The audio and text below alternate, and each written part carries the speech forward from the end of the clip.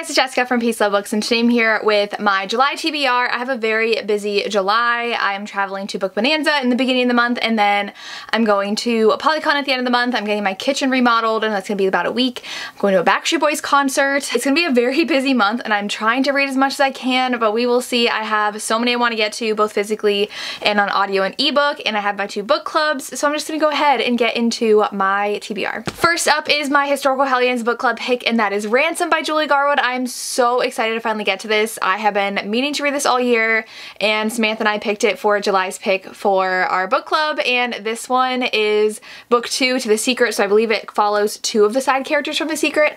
The Secret's one of my favorite historical romances so I'm very excited to get to this one. For Ravished by Romance we are reading The Song of the Marked which is something that I heard from Sam from Sam Reads a Little. She read this and really loved it so when Lacey and I were choosing our next read we hadn't read fantasy in a little bit, so we decided to go with this one. My library does have the audiobook, so I'm really excited about that. I have no idea what it's about. I have a really hard time reading fantasy synopses and figuring out what they're about enough to tell you, so all I know is someone did say it's like from Blood and Ash. So hopefully I enjoy it, and I'm excited for our chat for our live show. Then I have a few historicals on this list. I have The Gift by Julie Garwood. I really want to read more of her backlist, and so I'm going to start with this one. I've heard it is a pirate romance, and I read Saving Grace, and I didn't love it, which is the last one I read by her. So hopefully this is a hit. That's all I know it's a pirate romance, but I really want to read that. And then I am going to be reading three bodice rippers for a video, which I'm super excited for. I've been meaning to do this video since December, and I just never did, but I'm finally going to sit down and do it. So I'm going to read The Flame and the Flower by Kathleen Woodiwiss, which is one of the first, if not the first, bodice ripper. I'm pretty sure that's this one. And then the original copy of Whitney My Love. My copy is so battered, but I did get an original copy. It, the newest one has been redone, so this is a first printing. Excited to read this very controversial as well. And then I'm going to read a new to me author, which is Christine Monson. This is Stormfire, another iconic bodice ripper. This one's massive though. I don't know why all these are so big. This is almost 600 pages, but I'm super excited for my reading log for that. So I'm going to read these three. They're definitely going to hopefully be done right after Book Bonanza. My goal is to have it all done by then. But then I also want to read a lot more fantasy romance this month. So I have The Inadequate Heir on my list to read. I really love The Bridge Kingdom. And I do have Audible now and I was going to listen to this on Audible, but it did come out. I don't know if I'll love listening to fantasy. I'm going to try that out with our Ravished by Romance book and maybe just read this physically because I need to absorb a lot more. And this one's long too. Oh my gosh, this is over 500 pages. I've been reading 450 plus page books so much in June and I don't know why I keep on doing that. So I'm just reading chunky books and my next one's chunky too and I have a bunch of chunky books on this list but I'm gonna, um, why not read long books during the summer when I have the time? I also have A Lady for a Duke, which is also super long. It's like 450 pages, 449. But I've heard amazing things and I've been meaning to read it since it came out, since before it came out, because I did get an ARC, but I just never got the time to read it. And I wasn't super in the mood for historicals, but this one has a trans heroine and she falls for her best friend and it sounds really, really good. So I'm very excited for that one. I also have book lovers. I finally did get to this. Some of my friends have read it and really enjoyed it and I really loved Beach Read. I thought People We Meet on Vacation was okay, but I'm excited to read about two people in the publishing industry. So I don't know yet if I want to listen to this or read it physically. I've read all of her books physically, so I kind of want to read this physically, but we'll see about that. Another very long book is also Ivy by Willa Nash, but Tori from Live a Novel Life read it and really, really loved it, and she has me very intrigued by this now. Again, four, 500 pages. I don't know why authors are writing such long books, but this one I think Tori had said follows three different couples and it's in college with lots of secrets. So very excited to read some from Willa Nash, which is Devney Perry's pen name. Have not read from her yet. This might have been on my last month's TBR and I didn't get to it. So definitely want to get to that this month. And then because book four in the series comes out soon, if not today, I don't remember. But that is Ana Huang. I have Twisted Hate, which let's see how long this one is. 500 pages again. Oh my gosh. It is the hate to love romance. I don't know if it was someone's sibling. Is it the heroine from book one, maybe her sibling? I don't know, but people love this one. I'm excited to read it. Then I really want to read Hidden Waters by Catherine Cowles. This is book three in this series. I've really enjoyed books one and two. This one is about the character who lived in a really bad environment where they believed in like all these conspiracy theories, didn't believe in doctors, thought everyone was out to get them, and had very traditional male-female roles, and the females were treated horribly, and the she got out, and I think she becomes really good friends with this person. They might have to like live together. I don't remember. So they are new roommates, and he is has a damaged past of his own. Very excited to read that one as well. And I was also sent Fake It Till You Bake It by Jamie Wesley from St. Martin's Press. And this one, I think the cover is gorgeous. And I have not read too many traditionally published books this year, but this one's one that I definitely want to read. So our heroine was actually in a dating show and rejected the proposal, so everybody hates her. Now she is working in San Diego's newest cupcake bakery, and the owner is a professional football player, and a reporter mistakenly believes they are an item, and they are gonna fake a relationship. So this sounds so good and I'm very excited to read it. I do want to read My Killer Vacation by Tessa Bailey. Tori from Live a Novel Life has read it and really enjoyed it. I was a little bit skeptical because it's like cozy mystery bounty hunter teacher romance but it's short and sweet, what I need when I'm reading all these 500 page books. I hope I like it. It sounds like the perfect summer read. Then this one I want to get to before Polycon and that is Wolf Gone Wild by Juliet Cross. I went to Barnes & Noble. They had tons of indie romances. I decided to pick this up because again, Tori, I was texting her and she said she loves this series.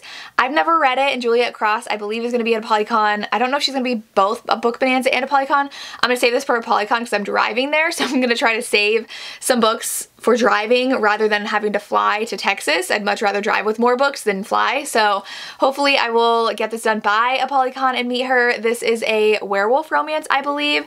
And that's all I know. He has been unable to shift for three months and he's convinced that he's cursed and wants the help of a witch. So that sounds good. I am very excited. And then I'm super excited to read this one. So I went to a baseball game and on Instagram I was like drop your baseball romance recs because I need them all because I love baseball romances. And this one was one of the recommendations and Samantha Christy is going to be at Book Bonanza. So I'm hoping to read this within the next week. This is Catching Caden. He is a baseball player and apparently he hits a home run and it shatters the face of the heroine and she is a model and it ruins her career and they become friends. So it says it's his mission to help her rebuild her life because he feels horrible at what he did and I'm excited. I'm excited for a new author. I'm excited for sports romance.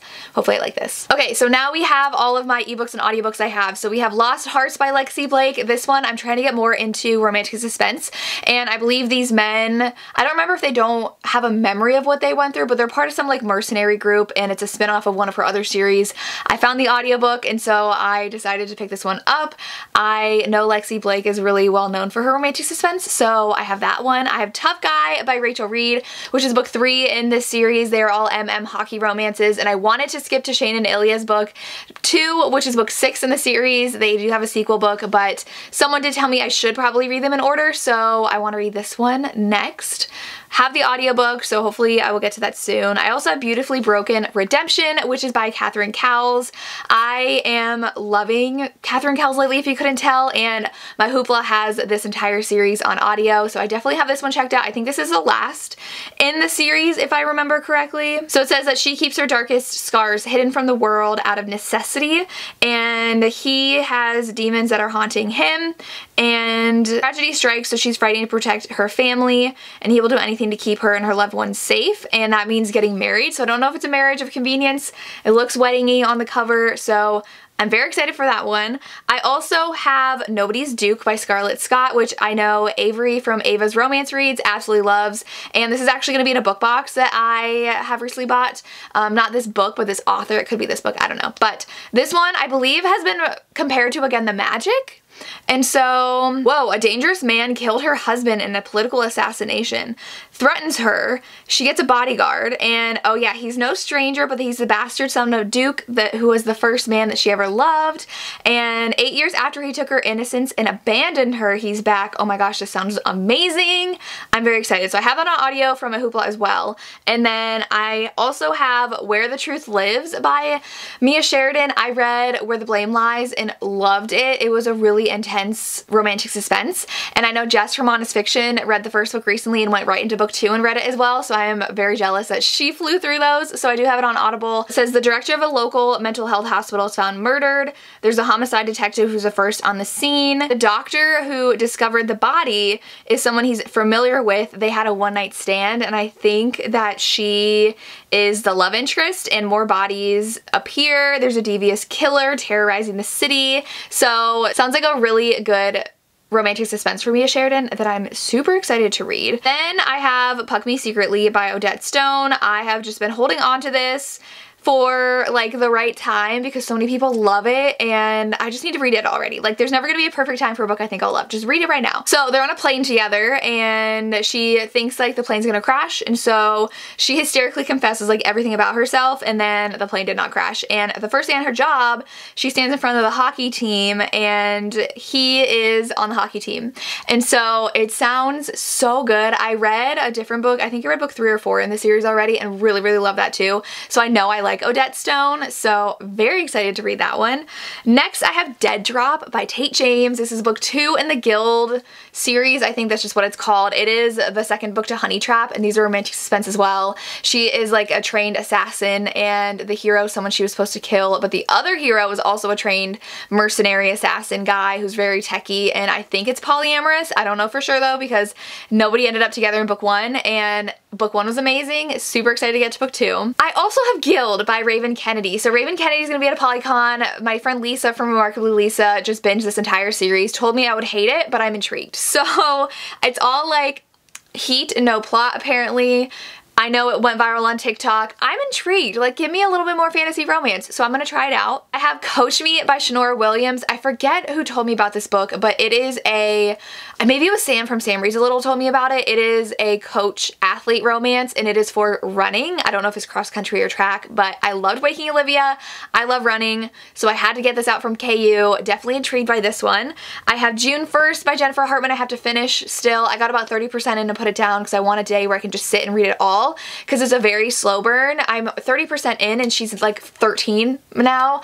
Uh, we get from when she is young. Literally like the day before she's born is when the book starts and it's going to be with someone she grows up with, not blood related, but I also know it's very, very emotional. So hopefully I can sit down one day this month and just read through that entire thing. I also have Scoring a Spouse, which Caitlin from The Love Librarian was raving about. The heroine is a soccer player I love women's soccer so much. I'm obsessed with the US team and she plays in the World Cup and it is with our hero. I don't remember how they met or what the premise is, but she's a soccer player and she has arthritis. So I'm super excited to read this book and I believe she's bisexual. I know one of the characters is.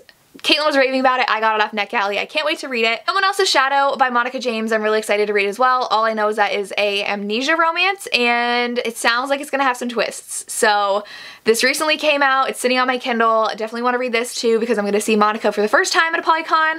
It's been years since I was supposed to see her and all the signings got canceled, so I'm very excited. And the last book I have is Taken by a Sinner by Michelle Heard. This is a mafia romance and that's all I know. I just know people have been obsessed with Michelle Heard. I'm very excited to read this and see what the hype is about because I know people love book one and book two. Hopefully I can read book one and see what it's about, continue on if I like it, but I need more mafia romance in my life, so I cannot wait to read this. And that is my TBR for July. Let me know what you're excited to read or if you've read any of these and what I should start with. I would love to hear. As always, thank you so much for watching and have a good day. Bye.